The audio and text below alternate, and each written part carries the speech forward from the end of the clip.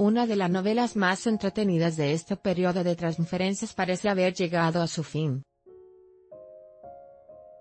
De acuerdo al diario británico Daily Star, Paul Pogba no fichará por el Barcelona este verano. Según el ya citado rotativo, el Barca ha hecho varios intentos por comprar la carta del jugador.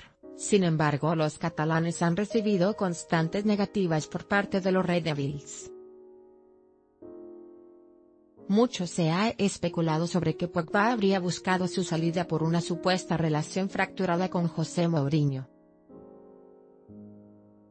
a tal grado que el entrenador llegó a declarar que si Pogba quería irse debería solicitar su salida apóstrofe. Públicamente tanto Mourinho como el jugador han dicho que su relación es positiva, de hecho el francés es el nuevo capitán del United. Sin embargo diversos medios aseguran que dicha relación está rota y eso habría sido factor para que el francés buscara su salida.